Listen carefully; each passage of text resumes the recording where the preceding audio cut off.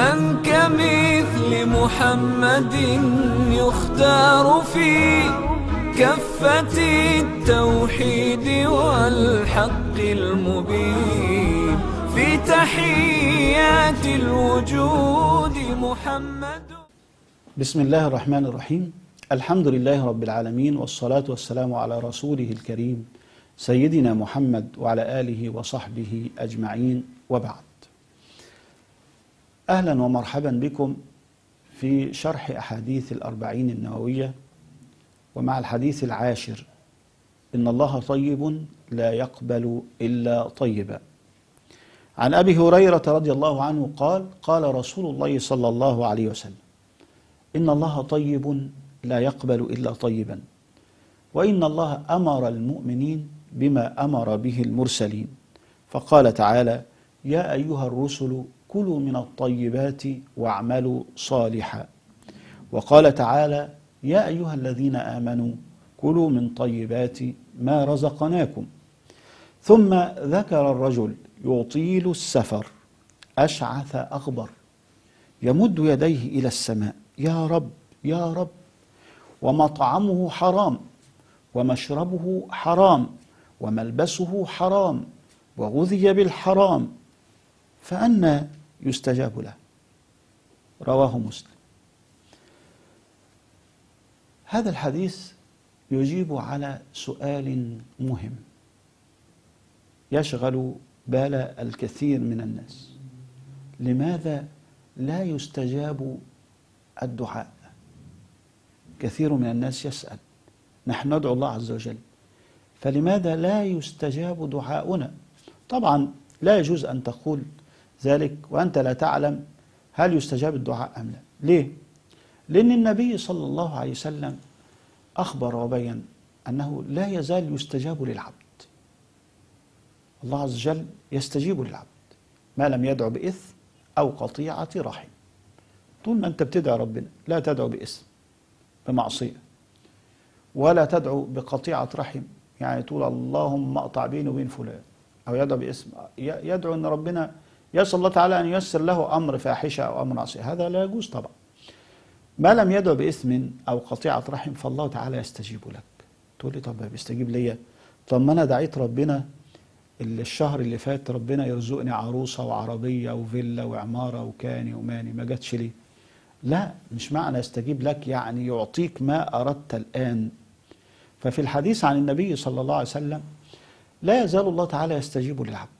فإما أن يعجل له في الدنيا يعجل لك ما سألت ويعطيك على الفور. وإما أن يدخره له في الآخرة. وإما أن يكفر عنه من ذنوبه بقدر ما دعا. أنت مستفيد على كل حال.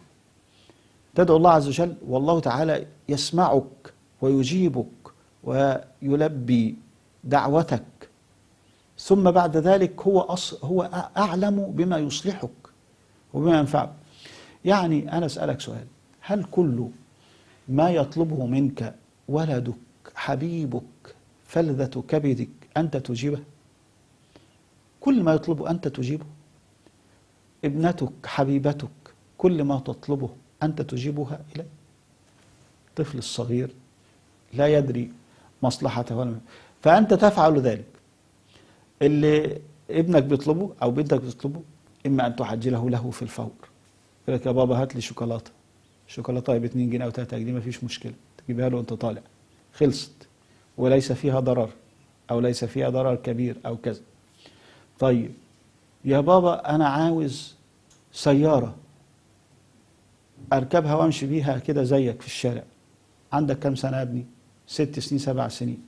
ما ينفعش. ولازم أطلع لك رخصة وكذا وتمشي تموت الناس. فتؤخر هذا الطلب له. لما توصل عندك 18 سنة هطلع لك رخصة وأعلمك القيادة وأجيب لك سيارة. طيب في أشياء ما تنفعش تجيبها له خالص. لا ينفع أن تلبيها له لا تصلح له لا الآن ولا بعد ذلك. فأنت يعني تربط عليه وترفق به وتبين له أن هذا الشيء لا يصلح له. فالله عز وجل أعلم بما يصلحك ويجيبك على كل حال. إما أن يعجل لك ما طلبت في الدنيا وإما أن يؤخره للوقت الذي ينفع ينفعك ويصلحك في الدنيا أو في الآخرة. ويدخر لك في الآخرة في الحديث أيضا أن الله عز وجل يأتي بالعبد يوم القيامة ينادي به يقول له تعالى يا عبدي. ألم تسألني يوم كذا كذا وكذا؟ فاكر يوم الخميس في شهر جماد الثاني آه، الساعة ستة مساء بعد صلاة المغرب أو كذا. دعوت قلت يا رب جوزني وارزقني عروسة كده حلوة وطيبة وبتاع وكذا. آه أنا لا نعم يا رب. أنا لم أستجب لك. وده يعني لم يتزوج حتى مات. مثلا انظر ماذا أعطيتك. بدلا منها في الآخرة. أعط. ينظر يلاقي جنة. عرضها عرض السماوات والأرض. مليئة بالحور العين وزوجات طيبات وكذا وكذا. ماذا يقول العبد؟ يقول له جيب واحد تاني. فاكر يا عبدي يوم كذا وكذا لما دعوت قلت يا رب ارزقني سيارة تريحني من المشاوير والمواصلات والزحام وكذا وكذا. أنا لم أعطيك في هذا الوقت. انظر يا عبدي ماذا أعطيتك؟ مكان يلاقي بقى. أعطاه يعني فرس بجناحات يطير عليه في الجنة وأعطاه كذا جنة عرض ويسير في شجرة في الجنة يسير الراكب في ظلها يعني مش عارف ستين عام ولا سبعين عام ما يقطعها. فيقول له أعطيتك هذا مكان ذلك. ماذا يقول العبد؟ عارف يقول إيه؟ يقول ليتك يا رب لم تستجب لي دعاء قط. يا ريت يا رب ما كنتش استجبت حاجة خالص. يا ريتك أخرت لي كل الأدعية.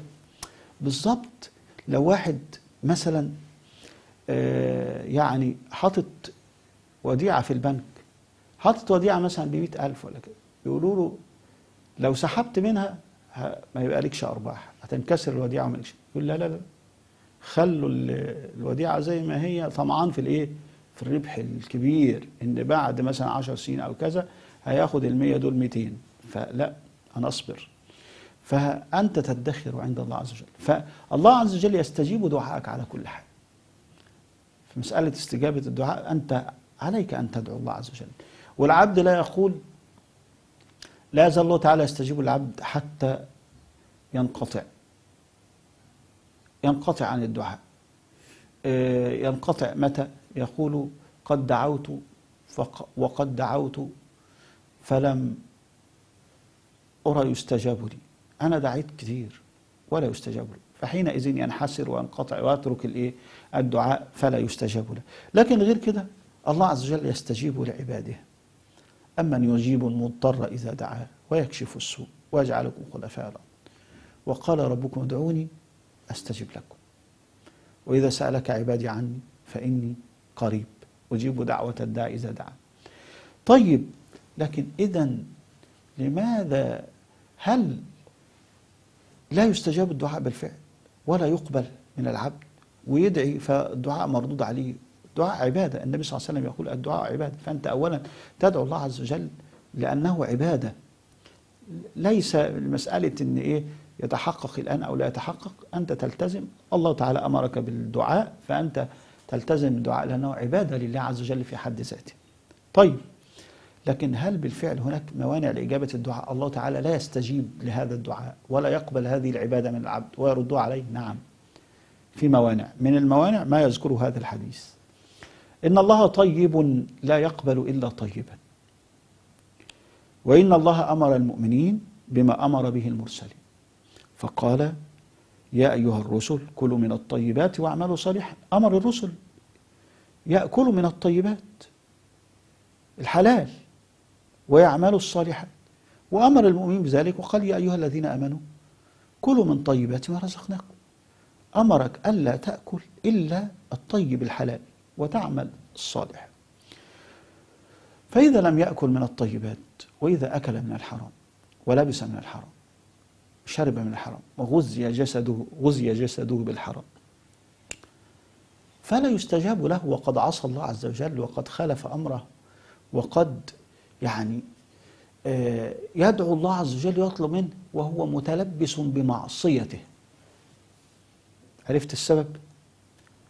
يعني تخيل آه، واحد جاي يطلب أجر العمل بتاعه وهو آه، منقطع طول الأسبوع عن العمل.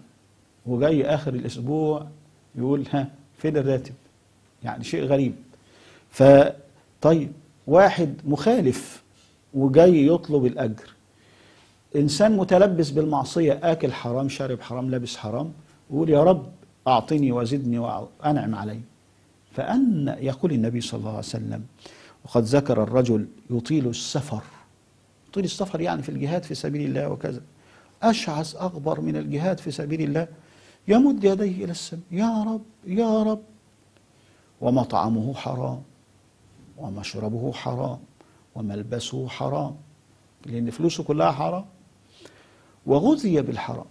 جسده ده نبت من حرام.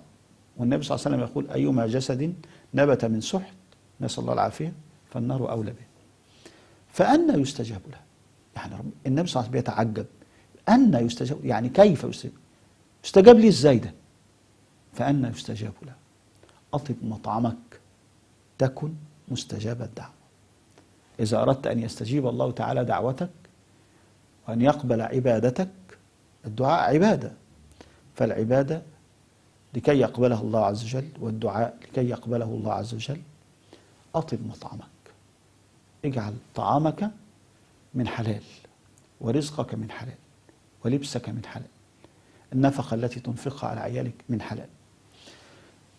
كثير من الناس لا يبالي لا يبالي. الأسباب التي يحصل منها المال والتي يحصل منها الرزق من حلال أو حرام. لماذا؟ لما تلاقي واحد مرتشي وعمال يهلب ويجمع الرشوة نسمع قضايا الرشوة بالملايين وبالالافات ليه يا عم؟ يقول لك عايز أأمن مستقبل عيالي. تأمن مستقبل عيالك إزاي؟ هو ربنا أصلا هيستجيب لك ولا المال ده هينفعك ولا ربنا راضي عنك؟ مين اللي هيأمن لك مستقبل عيالك؟ الله سبحانه وتعالى. وليخشى الذين لو تركوا من خلفهم ذرية ضعافا. خافوا عليهم فليتقوا الله وليقولوا قولا سديدا يعني ربنا بيقول لك أنت خايف على عيالك؟ طيب لو خايف على عيالك اتقي الله وليخشى الذين لو تركوا من خلفهم ذرية ضعافا. خافوا عليهم خايفين عليهم. يعملوا إيه؟ قال لك فليتقوا الله. اتق الله تعالى في الرزق اللي بيقول فليتقوا الله وليقولوا قولا سديدا صلاح الآباء هو الذي يحفظ الأبناء. فتذكرون القصة في سورة الكهف والخضر لما بنى الجدار آه، تحته كنز لهم وكان أبوهما صالحا فوجد فيها جدارا يريد أن ينقض فأقامه. الجدار دوت كان في تحت كنز أما الجدار فكان لغلامين يتيمين. في المدينة وكان تحته كنز لهما وكان أبوهما صالحا. فإذا أردت رزق عيالك وأن تحفظ عيالك فاحفظ الله تعالى واحفظ حدوده ومحارمه. نسأل الله عز وجل أن يرزقنا حفظ حدوده والالتزام بأوامره ونواهيه. أقول قولي هذا وأستغفر الله لي ولكم. والسلام عليكم ورحمة الله وبركاته. من كمثل محمد يختار في كفة التوحيد والحق المبين؟ في تحيات الوجود محمد